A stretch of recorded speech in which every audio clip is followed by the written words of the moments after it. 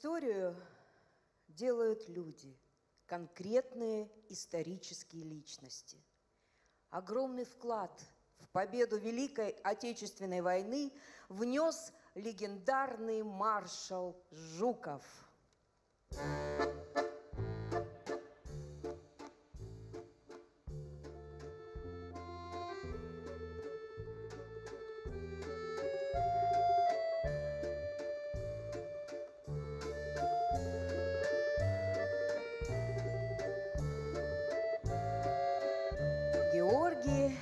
Константинович Жуков, один из величайших советских полководцев, маршал Советского Союза, четырежды герой Советского Союза и кавалер двух орденов Победа. Он был удостоен множества и других советских, иностранных орденов и медалей, а послевоенные годы получил народное прозвище звания «Маршал Победы».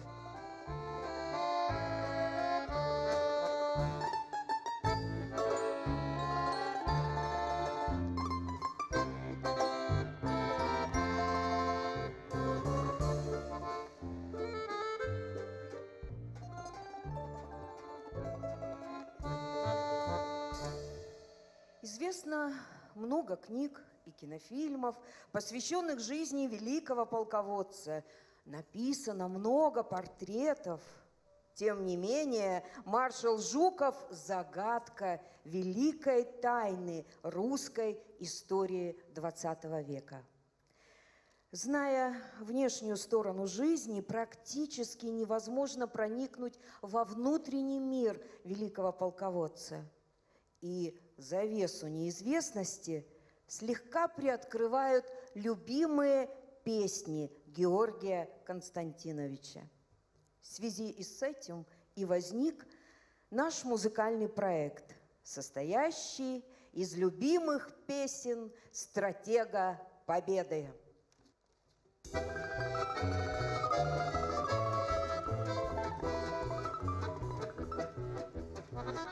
Расцветали яблони и груши, Поплыли туманы над рекой. Выходила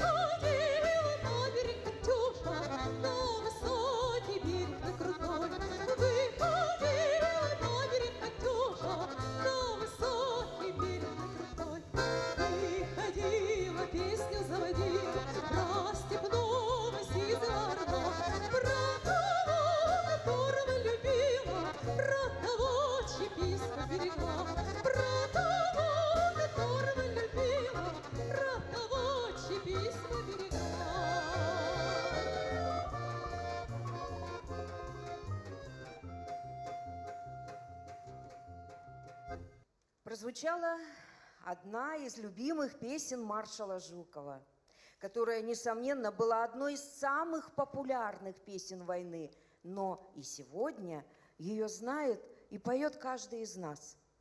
Интересно, что песня «Катюша» была написана еще до Великой Отечественной войны известным мастером, песенником, композитором Матвеем Блантером и поэтом Михаилом Исаковским. А вот популярность эта песня получила только в суровые годы войны. Итак, друзья песни маршала Жукова, героя Советского Союза, какие они, как он их, эти песни, выбирал для себя. Да по известной пословице «Скажи мне, кто твой друг, и я скажу тебе, кто ты». Друзья, песни Жукова, они красивые, величественны, патриотичны, мужественны, а главное, в них светится любовь к русскому народу. Вот поэтому Георгий Константинович так любил народные песни. Одна из них сейчас и прозвучит в обработке Ивана Паницкого «Ой да ты, Калинушка».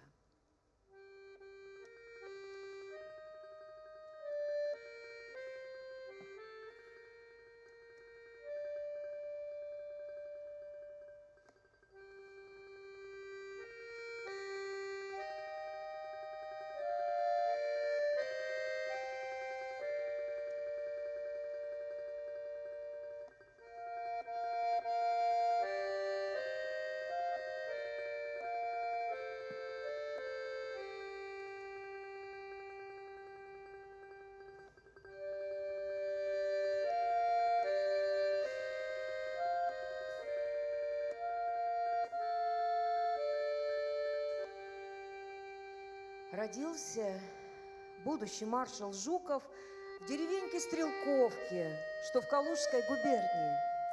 Семья состояла из четырех человек, родители, сын и дочь. Жили в небольшом доме с одной комнатой и двумя окнами. Отец был сапожником, мать занималась крестьянским трудом, и с ранних лет Жуков мальчишкой помогал по хозяйству и на сенокосе, и на жатве. Нелегкая жизнь уже тогда закалила Жукова, приучила преодолевать трудности, а среди ребят он пользовался непререкаемым авторитетом. Три класса церковно-приходской школы он окончил с отличием. Затем он отправляется в Москву, где он стал подмастерьем, и там же, учась, получает аттестат зрелости. Когда началась Первая мировая война, Георгия призывают в имперскую армию и отправляют в кавалерийский полк, где он сразу же становится офицером. Во время службы Жуков совершил ряд подвигов. Том числе захватил в одиночку немецкого офицера. За это будущий полководец был награжден Георгиевским крестом. Во время гражданской войны Георгий Жуков примкнул к Красной армии. И с этого времени начинается его славная военная карьера полководца. В 21 году Жуков вновь отличился, сумев подавить своим эскадроном мятеж, несмотря на значительно превосходящие силы противника. За это он был удостоен ордена Красного Знамени. В боях на Халхинголе с японской армией в 1939 году он уже был командующим целой армией. И эта армия одержала верх над врагом, имеющим численное превосходство. Георгий Жуков после этой победы стал героем Советского Союза, и следом ему было присвоено звание генерал армии. В суровые годы Великой Отечественной войны у русского народа родилось много песен. Они воспевали Родину, воспитывали ненависть к врагу, мужество, отвагу, боевую дружбу, все то, что помогало преодолеть военные трудности. В 1943 году на фронт прилетела песня «Огонек», ставшая одной из любимых песен маршала Жукова. Поэтический образ огонька на окошке превратился в огромный вдохновляющий символ. Не погас наш огонек, никогда не погаснет. Эта песня еще одной неразрывной нитью скрепила фронт и тыл.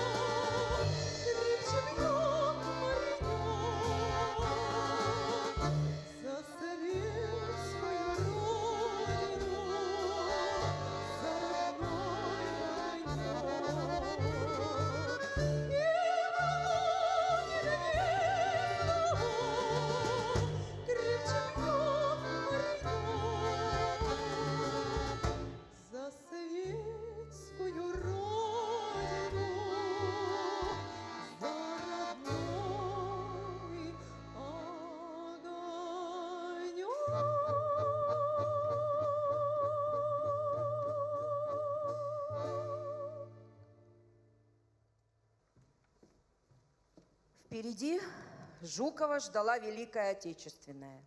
В те страшные годы раскрылся талант великого маршала. Его имя стало нарицательным, как имена Кутузова и Суворова. Он отдал всего себя этой войне, а о его работоспособности ходили легенды. Он 11 суток не смыкал глаз, когда фашисты рвались к Москве.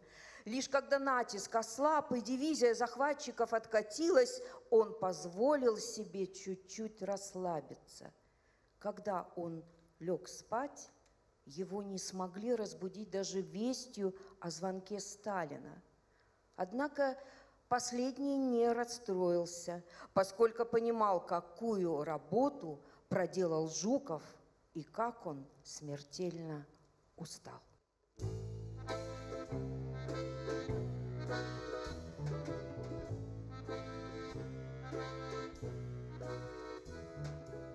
Темная ночь, только пули свистят по степи, Только ветер гудит в проводах, Тихо звезды мерцают. В темную ночь ты, любимая, знаю, не спишь, и у детской кроватки тайком Ты слезу утираешь. Как я люблю глубину твоих ласковых глаз. Как я хочу к ним прижаться сейчас губами Темная ночь разделяет любимая нас И тревожная черная степь пролегла между нами. Верю в тебя, в дорогую подругу мою. Эта вера от пули меня темной ночью хранила. Радостно мне, я спокоен в смертельном бою. Знаю, встретишь с любовью меня, Чтоб со мной не случилось. Смерть не страшна, с ней не раз мы встречались в степи. Вот и теперь надо мною она кружится. Ты меня ждешь и у детской кроватке не спишь, И поэтому знаю со мной Ничего не случится. Во время войны авторитет маршала Жукова и в армии, и в народе был беспрецедентен. Сам Сталин во время войны объявлял 41 раз Жукову благодарность. Его любили, боялись и боготворили одновременно. А вот трагические события блокады Ленинграда. Длилась она 871 день. Георгий Константинович был направлен в Ленинград критическое для города время. Ленинград был в кольце блокады. Враг упорно рвался к городу, ведь ему оставалось пройти всего-то порядка 10 километров. И благодаря умелому, энергичному, твердому руководству маршала войсками Ленинградского и Волховского фронтов Жукову противник был остановлен на подступах к Ленинграду. Первым из советских военачальников в годы Великой Отечественной войны Жуков одержал победу в оборонительной операции. Жесткость Жукова, за которую его частенько критиковали, в этой ситуации оказалась как нельзя кстати. Он воплотил в жизнь знаменитый призыв «Ни шагу назад!» И это дало плоды. Под угрозой крайних мер бойцы перестали отступать и покидать позиции без приказа. И, конечно же, здесь надо вспомнить о песне, которая так полюбилась в эти суровые годы войны и в тылу, и на фронте, особенно на Волховском фронте. Я говорю о песне «Синий платочек». Исполнила эту песню легендарная певица Клавдия Ивановна Шульженко, которая часто выезжала с концертными бригадами на передовые фронтов и которую слушал сам маршал Жуков.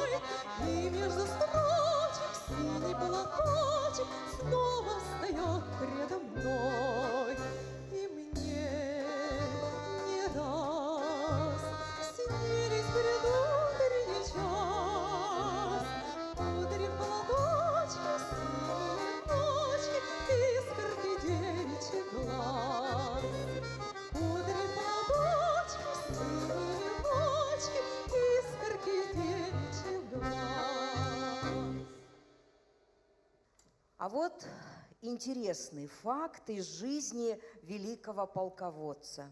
Его всегда интересовал один музыкальный инструмент – баян. До войны Жуков не умел играть ни на баяне, ни на каком-либо другом музыкальном инструменте, да и нотной грамоты он не знал, но баян его заинтересовал. И вот до войны 41 года Георгий Константинович за год под руководством красноармейца Ивана Усанова научился играть свои любимые русские народные песни – по диким степям Забайкалья и степь да степь кругом. По воспоминаниям дочери маршала Георгия Константиновича, он многие песни подбирал сам на слух. Конечно же, свои любимые русские народные песни.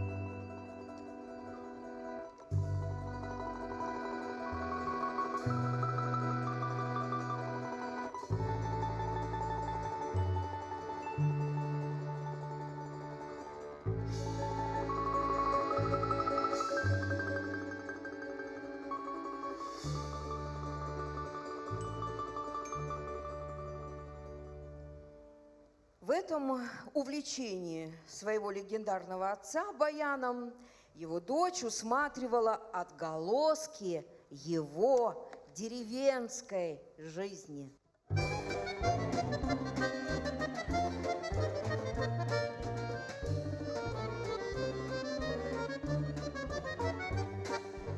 Сыпь тальянка звонко, сыпь тальянка смело, Вспомнить, что и юность, ту, что пролетела, Не шуми, осинам, не пыли дорога, Пусть несется песня к милой до порога.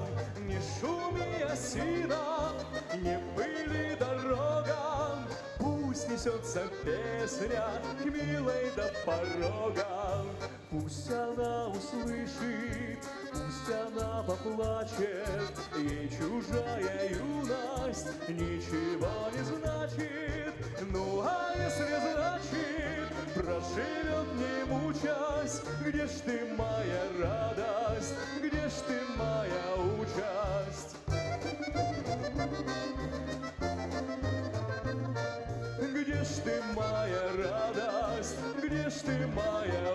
Участь?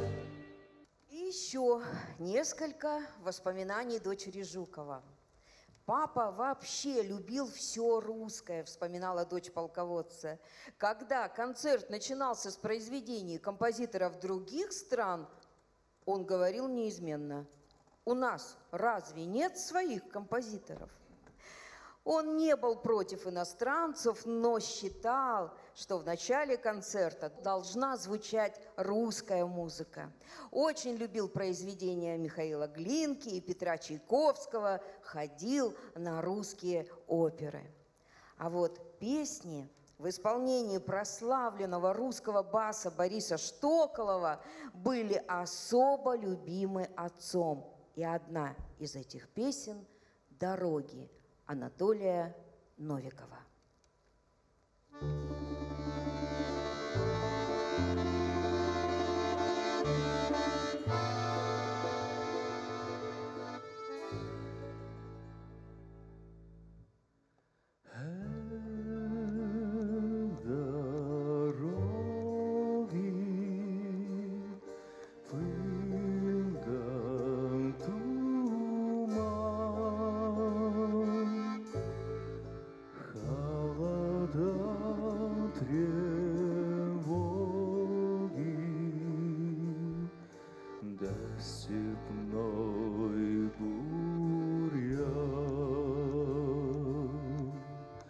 Знать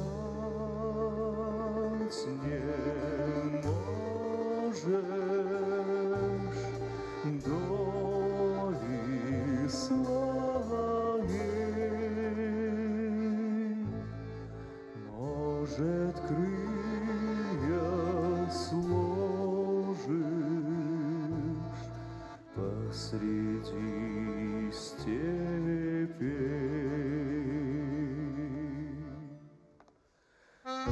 Пыль под сапогами,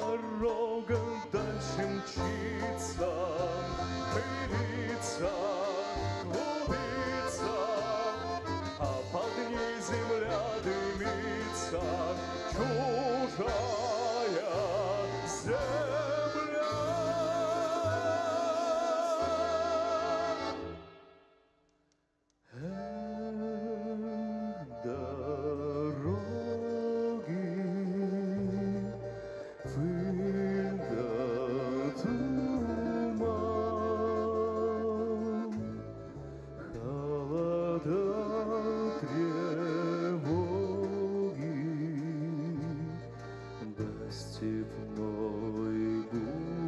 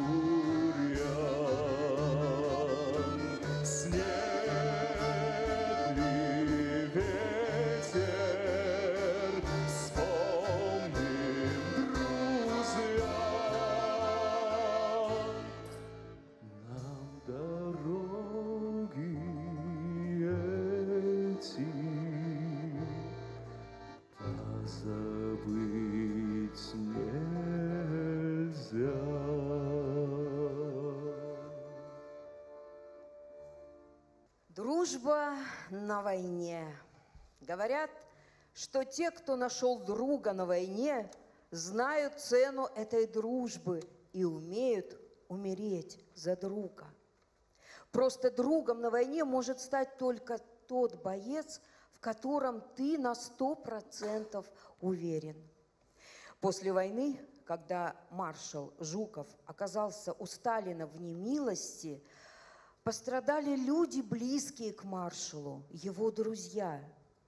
Почему так получилось? НКВД многие годы собирал на Жукова компромат. Хотели получить от его друзей однополчан порочащую Жукова информацию. Ее из арестованных выбивали жестокими методами. Некоторые люди сломались. Был арестован и генерал Владимир Крюков, с которым маршал служил еще в Белоруссии. Пострадала и жена Крюкова, знаменитая народная певица Лидия Русланова. Во время войны она не раз приезжала на фронт в составе концертных бригад, и там Лидия Андреевна Русланова и познакомилась с прославленным полководцем Георгием Жуковым. Их семьи крепко дружили, Жуков любил народные песни и уважал всенародно любимую певунью Лидию Русланову, особенно ее знаменитые валенки. Thank you.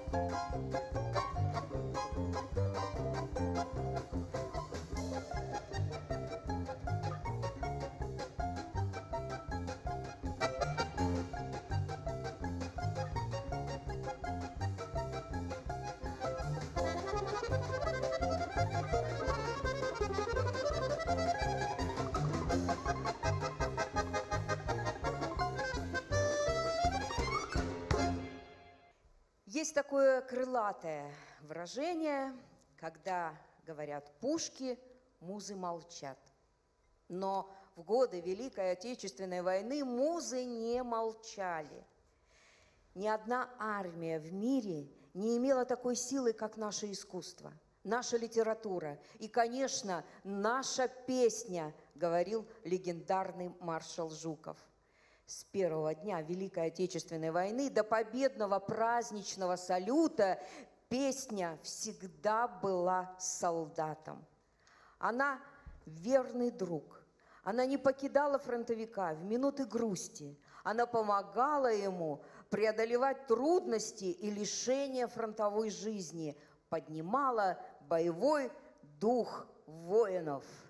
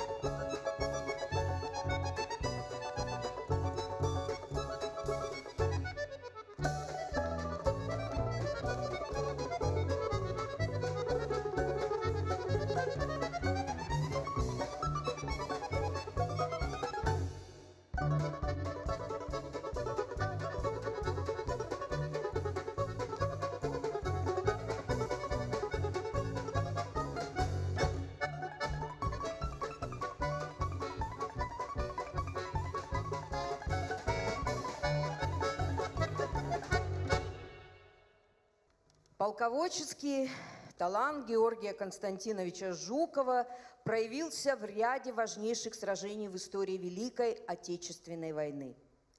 Битва на Курской дуге, где одержанная победа имела и большой моральный смысл. После этой битвы наша армия стала одерживать победу за победой. Сталинградская битва – Операция «Багратион», когда в 1944 году произошло полное освобождение Белоруссии, и Жуков являлся главным координатором этой операции. И, наконец, Берлинская наступательная операция. Это, пожалуй, самый главный триумф всей карьеры полководца Жукова. Как апогей его подпись над подписью фельдмаршала Кейтеля в акте о безоговорочной капитуляции Третьего рейха.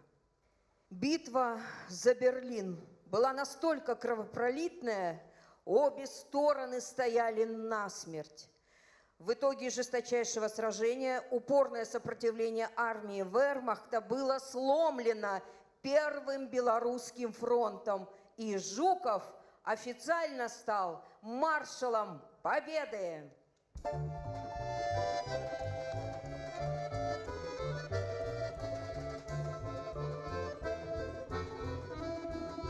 Великая Отечественная война была окончена. И вот пришел долгожданный день победы. Люди заполняли улицы и площади. Они смеялись и плакали, обнимались, пели, пели свои любимые песни. И над звенящим праздником салюта, оркестра, хоров, то тут, то там взлетали песни победы.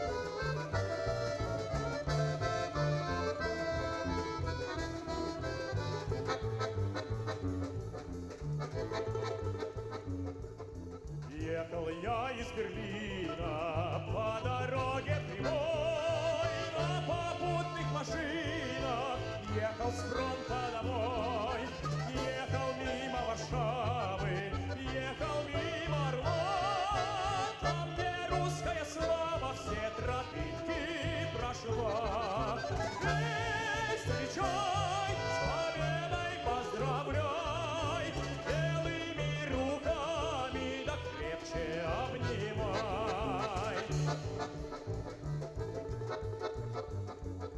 Очень дальние дали мы с друзьями прошли, но нигде не видали лучше нашей земли. Наше солнышко краше, и скажу не тая, лучше девушек наших нет на свете, друзья. Эй, встречай, да крепче обнимай, чарочку хмельную покрепче наливай.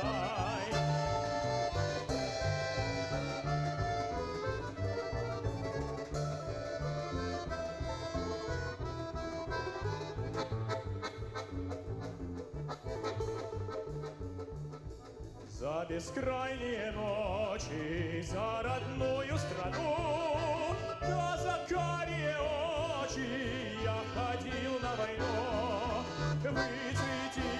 Seigneur.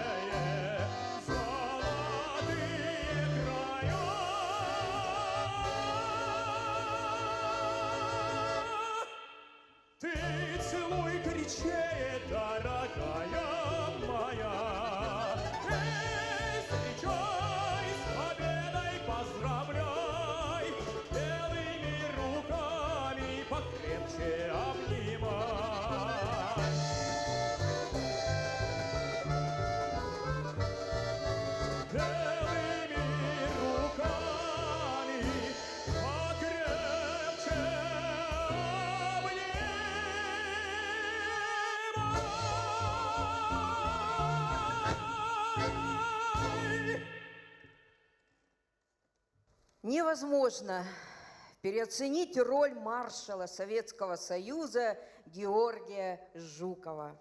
Он навсегда останется народным героем, национальным достоянием нашей страны.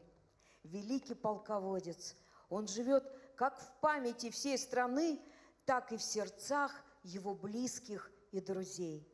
Они бережно хранят его портреты и фотографии, личные вещи и даже, даже его любимый баян, на котором в такие редкие минуты отдыха так любил играть и петь свои песни маршал Жуков. Сегодня, всматриваясь в эти старые военные фотографии, на которых запечатлены важные моменты жизни Жукова, мы понимаем, как они важны для потомков легендарного маршала, для нас с вами, ведь это бесценное наследие нашим внукам. Thank